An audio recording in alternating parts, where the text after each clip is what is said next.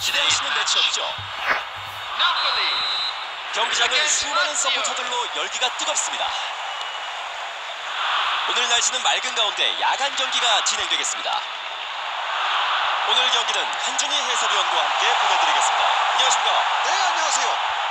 때립니다. 여기서 들어갑니다. 선제골입니다. 전반 초반 빠르게 선제골이 나왔습니다.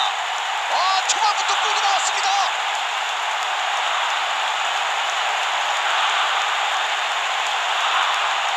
키퍼가 막기 힘든 크로스로 득점했습니다. 아, 굉장히 빠른 슛이죠.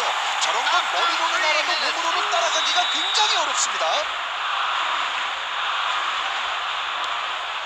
어, 한준희 해설위원은 지금 이런 초반 실점을 어떻게 보십니까? 아직 서로 탐색전을 하는 시점에서 상황이 이렇게 흘러가네요. 뭐 아직 초반이거든요. 이쪽도 강팀이니까 얼마든지 반격할 수가 있을 겁니다. 이제부터가 재밌어지겠네요. 다닐로 카탈디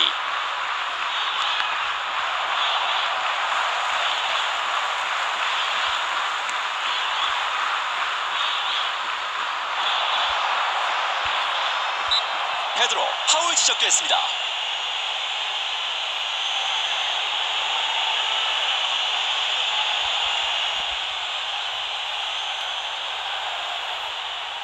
프리킥 상황입니다. 이런 기회는 반드시 살려야 합니다. 잠보 안귀사 전방으로 갑니다. 시메오네 이어봤습니다.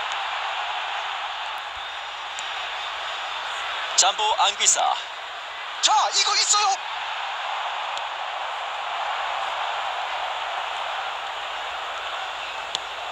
라치오 걷어내면서 위기를 넘깁니다.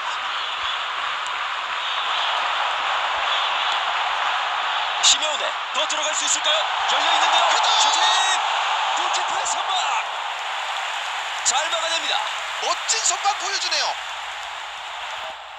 멋진 선방입니다. 대단한 선방이 나왔습니다.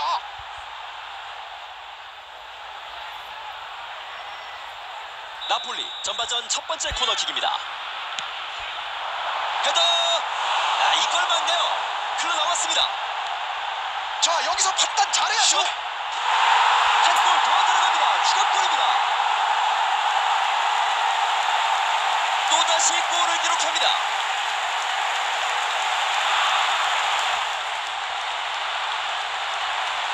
제대로 보고 노린 슈팅. 수비수를 뚫고 골대로 들어갑니다. 키퍼로서는 까다로운 슈팅이었죠. 시야 바깥으로부터 순간적으로 날아오는 볼에는 반응이 늦을 수밖에 없습니다.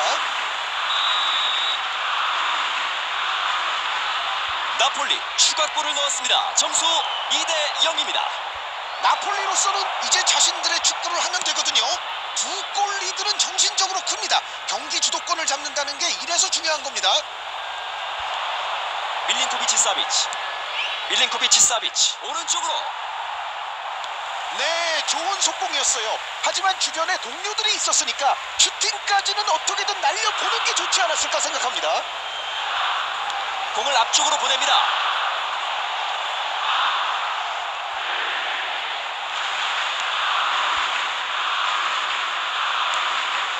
밀린코비치 사비치. 펠리페 안데르송. 공 흘러나가는데요.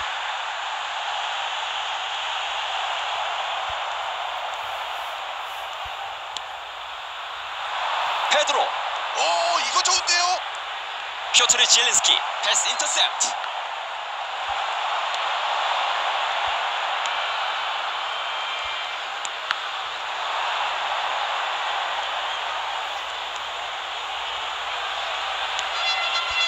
루이스 알베르토. 루이스 알베르토 오른쪽 측면으로. 루이스 알베르토 스루 패스 찔러봤습니다만 막혔습니다. 잠보 안귀사. 자 오른쪽 봤어요. 마테오 폴리타노. 여기서 이. 선택은 조금 위험한 것 같은데요.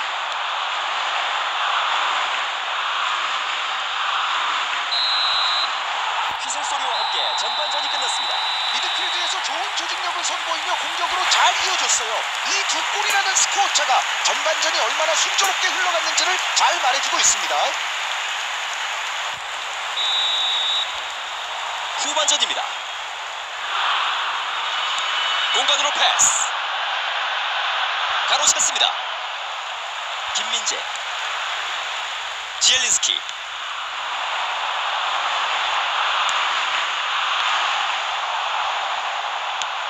오른쪽 잘 봤습니다. 패스 빠집니다.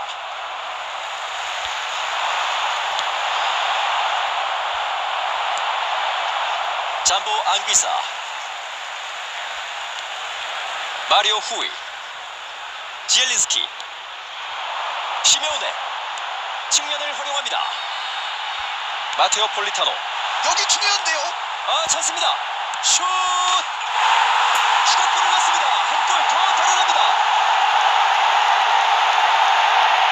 세 골 차입니다. 이대로 승부가 결정될 것 같은데요. 맞기 어려운 코스로 골을 기록했습니다. 아 이것도 완전히 작정하고 때렸는데요. 무조건 넣는다는 의지가 느껴지는 슈팅이었어요. After 56 minutes is 나폴리 현재 3대 0으로 크게 앞서고 있습니다. 잠보 안귀사 수비가 통했습니다. the attendance for this match was 71,649. 나폴리 수비가 뭔지 보여줍니다. 김민재 다시 키퍼에게 지오바니 디 로렌zo 지엘린스키 제쳤어요.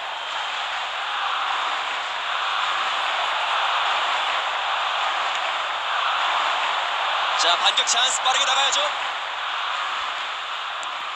펠리페 안데르송 페드로 수적으로 유리한 상황에서의 속공이었는데요. 아 늦은 판단이 좀 아쉬웠습니다.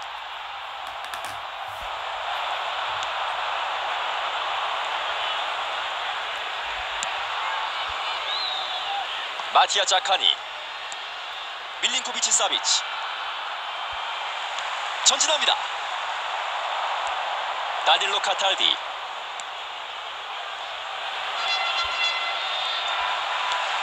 아밀 라흐마니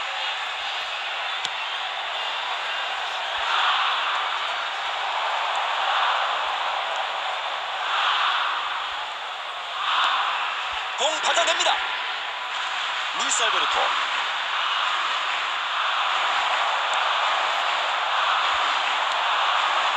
역습으로 몰고 나갑니다.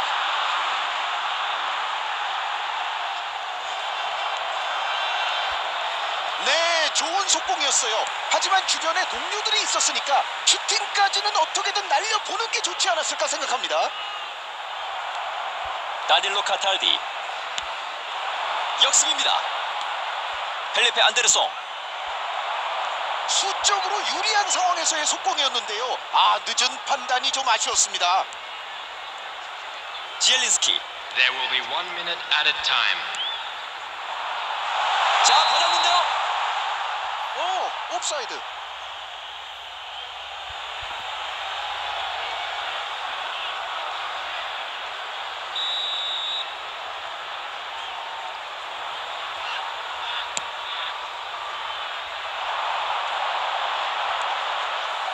펠리페 안데르송 뒷공 길었던 경기가 이렇게 마무리됩니다.